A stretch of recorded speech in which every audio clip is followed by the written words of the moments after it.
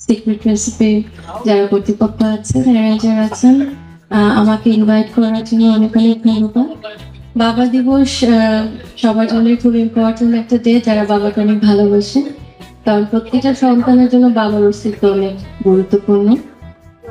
আমি আমার বাবার অনেক আদরের, কন্যা, সন্তান অনেক।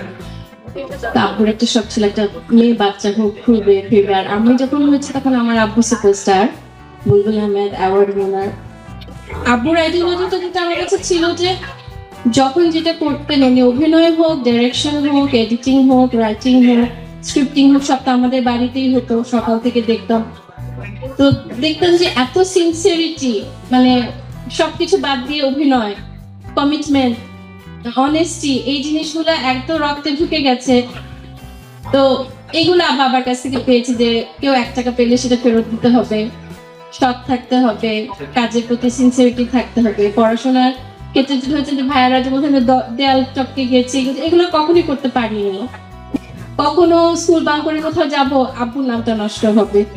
যেটা হয়েছে যে আব্বুকে দেখে দেখে শিখেছি ভালোবাসতে মানুষকে কাজকে ভালোবাসতে।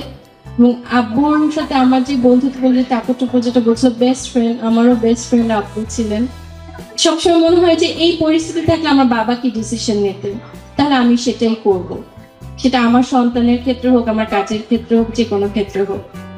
তো এইগুলো কাজ করে। আমাকে আব্বু বলল মার্কেটিং এ পড়তে যাতে জীবনে জীবিকা অর্জনে কাজে লাগে। আমি বললাম তো তুমি আছো, এই ক্যারিয়ার তোমার আছে পড়াশোনাটা এটা করো। তারপর আবার আব্বুই চাইলেন আমি ফিল্ম অ্যান্ড মিডিয়ায় যেন মাস্টার্স করি।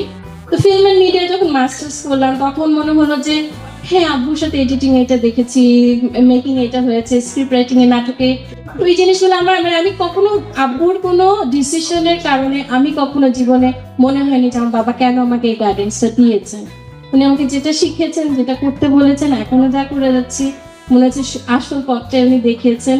আমি নিজে স্যাটিসফাইড উনি, ওনার জন্য আমি ডকুমেন্টারি তৈরি করেছিলাম। উনি বেঁচে থাকতে একজন জীবন্ত কিংবদন্তির কথা।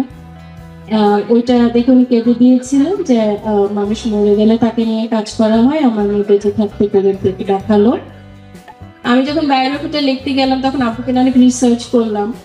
আমার একদম একদম আমার দাদার বাড়ির সবার থেকে আপুর ফ্রেন্ড তো আপু সব ইন্টারভিউস টিভি অনলাইন যা পাচ্ছি, যেখান থেকে গুগলে যা পাচ্ছি, সবকিছু মিলে আমার তিন বছর লাগল। বাট আনফর্চুনেটলি আপু তো দেখতে পারেনি, উনি চলে গেছে আজকে সবার বাবাকে দেখছি, আমার বাবাকে খুব মিস করছি। আমাকে যখন খুশি ভাই ডাকলেন, আমি তখন বললাম যে আমি আমার ছোট্ট আব্বুকে নিয়ে আসব। ওকে অনেকে আমার বাবার সাথে রিজেম্বল করে। তো যেটা হচ্ছে যে ও আমাকে অনেক আদর করে, এখন বাবা সবসময় আমার মাথায় হাত দিতেন। কোনো খুশি হলে একটা রান্না করে খাওয়ালে মাথায় হাত দিয়ে দোয়া দিতেন। ভালো কিছু করলে মাথায় হাত দিয়ে দোয়া দিতেন। ও দেখা গেছে, ও তো তখন ছোট, দেড় বছর আব্বু যখন মারা যায়, তো আমার মাথায় হাত দেয়। ও আমার সবসময় সাহস দেয়। এবং আমার পাশে থাকে, এটাই আমার এখন আর কি, বাবার অভাবটা এভাবে পূরণ করি আমার ছেলে আমার সাথে আছে গাইডেন্স দিচ্ছে। আর যে আব্বুর কিছু কাজ আছে, যেগুলো আব্বুর গানগুলো, ওগুলা নিয়েও আমরা দুই বোন টুকটাক কাজ করছি। একটা আমরা ফাউন্ডেশন ট্রাস্ট করেছি গুগল আহমেদ ফাউন্ডেশন ট্রাস্ট আমরা বৃদ্ধাশ্রম করছি, আমরা যে কোনো সুবিধা বঞ্চিত স্কুলে যাচ্ছি। আমাদের কিছু স্কুলের আমরা অলরেডি দায়িত্বে আছি, তো ওগুলো আমরা কাজ করছি। তো ওনাকে বাঁচিয়ে রাখার চেষ্টা আর কি ওনাকে ওনার ভালোবাসা যারা উনি মানুষকে অনেক নিভৃতে অনেক মানুষকে সাহায্য করতেন।